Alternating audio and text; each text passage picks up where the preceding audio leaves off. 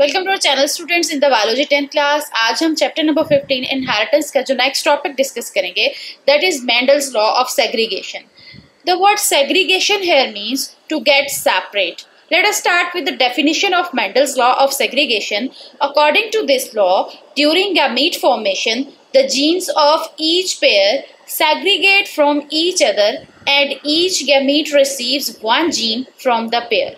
When these gametes unite during fertilization, resulting offsprings again gets the genes in pairs. As we know, diploid organisms में jeans किसी भी specific trait के लिए हमेशा pairs में present होती हैं for example gene pairs capital R small R capital Y small Y for the trait of round seed and wrinkle seed, yellow seed and green seed in a pea plant. But during gamete formation, these pair of alleles, they get separate from each other. For example, capital R get separate from small r, capital Y get separate from small y. हर gamete pair of allele में से just one ही allele को receive कर रहा है. So in this way, gametes with variant alleles for a trait can be formed.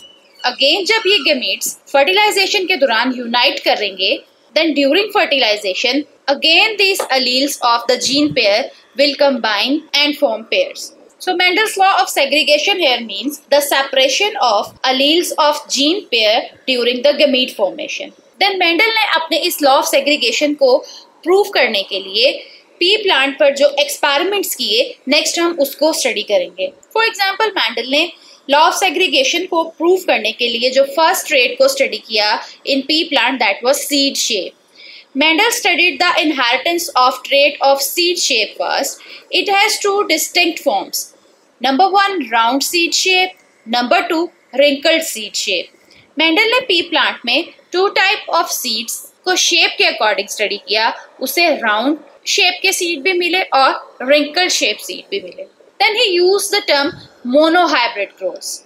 What is this monohybrid cross? A cross in which only one trait is studied at a time is called the monohybrid cross. वैसे तो Mendel ने P plant में बहुत सारे trades को observe किया और उसे मैथमेटिकली प्रूफ भी किया but when he studied one trait in pea plant at a time, then he named that cross the monohybrid cross. As mono here means one. Then there is another term that is P1 generation. The parental generation is denoted as P1 generation. Mendel ने जब round shape seed plants को wrinkle shape seed plants के साथ cross करवाया तो इस cross के result में उसे तमाम प्लांट्स राउंड सीड शेप के साथ मिले। सो so, इस पेरेंटल जनरेशन को उसने P1 से डिनोट किया and these are the true breeding plants और इन ट्रू ब्रीडिंग प्लांट्स के रिज़ल्ट में उसे जो फ़र्स्ट जनरेशन मिली दैट वाज द F1 और first filial generation the of offsprings of P1 generation are called as F one generation. इन दोनों parent plants के क्रॉस के रिज़ल्ट में उसे जो ऑफ़ स्प्रिंग्स मिले, इसको उसने फ़र्स्ट फिलियल जनरेशन और एफ़ वन जनरेशन बोला। Then there is another generation that is F two generation Mendel planted F one seeds and allowed new plants to self fertilize he got seven thousand three hundred and twenty four seeds out of which five thousand four hundred and seventy four were round seed shape 1850 were wrinkled seed shaped plants.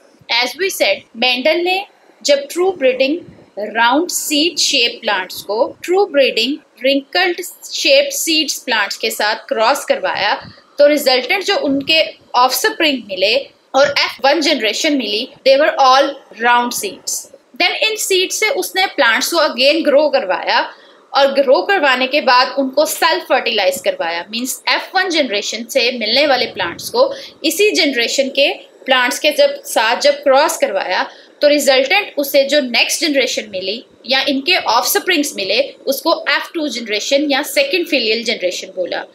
Mendel ने जब इसको statistically analyse किया तो उसे इसके result में 5474 round seed shape plants मिले।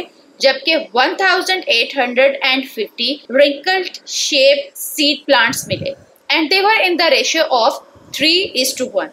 Let's see the phenotypic ratio. In F2 seeds, phenotypic ratio would be 3 is to 1 means 3 round and 1 wrinkled seed. This monohybrid cross can be observed through this diagram.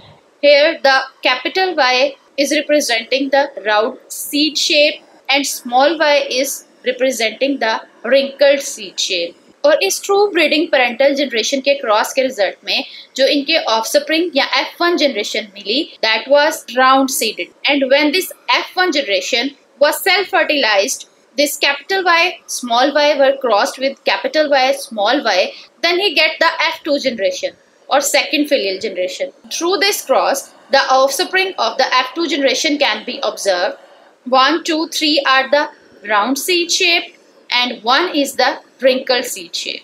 So that's why its phenotypic ratio will be 3 is to 1. Dominant trait.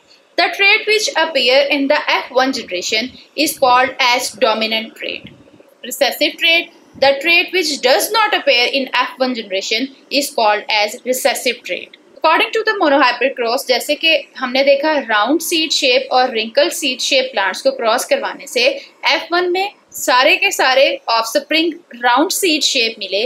That's why round seed shape जो थी that was a dominant trait और ये wrinkle seed shape because F1 में appear नहीं हुई it means that it is recessive trait so ऐसी trait जो F1 में अपेयर हो, वो डोमिनेंट होगी और जो F1 जनरेशन में अपेयर नहीं होती, वो रिसेसिव ट्रेड होगी। Next is the height Mendel ने सीड शेप की इनहेरिटेंस के अलावा इनहेरिटेंस ऑफ़ हाइट को भी पी प्लांट में स्टडी किया Mendel also studied the inheritance of height in pea plant and he got the same results. It has two distinct forms, tall plants and dwarf plants.